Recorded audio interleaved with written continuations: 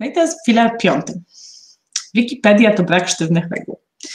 No i o co tej Natalii chodzi, tak? Najpierw spędza 30 minut tłumacząc, jakie są zasady, że tutaj źródła, że tu wolne licencje i tak dalej, a potem mówi, ale Wikipedia to brak sztywnych reguł.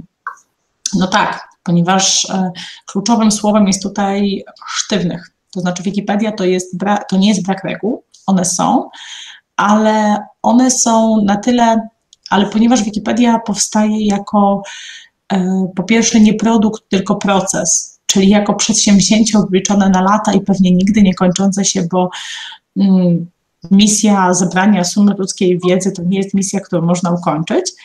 Mm, I ona powstaje w zmieniającym się środowisku, to ona powinna też mieć możliwość adaptowania się do świata dookoła. Czyli społeczność wikipedystów, wikipedystek może w każdym momencie e, zebrać się, przedyskutować jeszcze raz swoje zasady, zmienić je, dostosować do świata, jaki istnieje. Ale to też oznacza, e, ten filar oznacza jeszcze to, że Wikipedia została stworzona jako projekt pomyślany na współpracę. Cały jej mechanizm, sposób, w jaki ona działa, wszystkie jej reguły i wszystkie jej zwyczaje one są wyprowadzone z tego punktu, że to jest encyklopedia, którą każdy może edytować. I dlatego, e, kiedy wchodzimy w Wikipedię, mimo że istnieje mnóstwo reguł i zasad, nie powinniśmy się obawiać, ja się obawiałam na początku mojej przygody z Wikipedią, tylko powinniśmy wchodzić z dużym, e, e, z poczuciem, że chcemy zrobić coś dobrego, pewnie czasem popełnimy błędy, pewnie ktoś nam, e, pewnie ktoś je poprawi i nam, i nam powie, że popełniliśmy błędy i to jest wszystko ok, dlatego że w Wikipedii e, uczymy się tworząc Wikipedię i jeżeli tylko będziemy pamiętać o tym, żeby dbać, żeby, żeby wychodzić z takiego punktu, że chcemy ją ulepszyć i chcemy o nią dbać i wiemy, że to jest nasze wspólne dobro, to naprawdę e, wszystko będzie, wszystko będzie ok.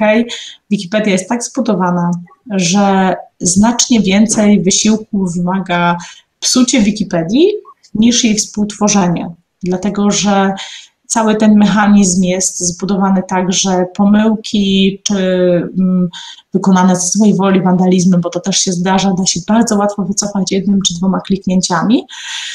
Mm, dlatego nie ma się co obawiać, tylko po prostu wskakiwać w ten projekt i go współtworzyć. I jedną rzeczą, którą jeszcze chciałabym Wam powiedzieć, e, bo ostatnio tak sobie, ostatnio miałam taką refleksję, że o tym mówię na szkoleniach zbyt mało, to jest to, że Wikipedia to jest projekt współpracy i ona, i to, i to ją różni od wszystkiego, co Wy znacie. I kiedy, e, kiedy ludzie myślą o Wikipedii, to, to przykładają do niej bardzo dobrze znane sobie pojęcia, że to jest strona internetowa, że to jest jakaś platforma. Kiedy ja mówię, kiedy ja mówiłam społeczność, e, nie wiem, 15 lat temu, to to się słyszało inaczej niż kiedy mówię społeczność teraz, dlatego że teraz to pojęcie społeczności mm, bardzo często jest przykładane do takich pojęć jak na przykład media społecznościowe ale to nie jest to samo. Kiedy ja mówię społeczność Wikipedii, to to nie jest po prostu zespół ludzi, odbiorców treści, którzy dają jakieś lajki lub nie, albo śledzących komunikaty. Kiedy ja mówię społeczność, ja mam na myśli coś naprawdę potężnego, czyli zbiór, e, ogrom ludzi, którzy spotykają się po to, żeby coś razem współtworzyć, budować, dyskutować, czasami się, czasami się spierać, a czasami się wspierać. I to jest naprawdę fantastyczne i dlatego i bardzo e, warto o tym pamiętać, że Wikipedia jest, jak mój kolega zawsze mówi, to nie jest encyklopedia, to jest e, społeczny projekt tworzenia encyklopedii. I to też warto zapamiętać. I o tym, jak e, działa społeczność Wikipedii, bardzo dobrze opowiada taka historia, którą sobie całkiem niedawno przypomniałam. Jest to historia o dziurze drogowej. Parę lat temu pewnym programie telewizyjnym dziennikarz powiedział, że no, dziura drogowa to jest zjawisko tak trywialne, że nie ma nawet hasła w Wikipedii. No i rezultat był oczywisty. Hasło o dziurze drogowej pojawiło się w Wikipedii w przeciągu minut. Ktoś je napisał, parę minut później przyszedł ktoś inny i rozbudował.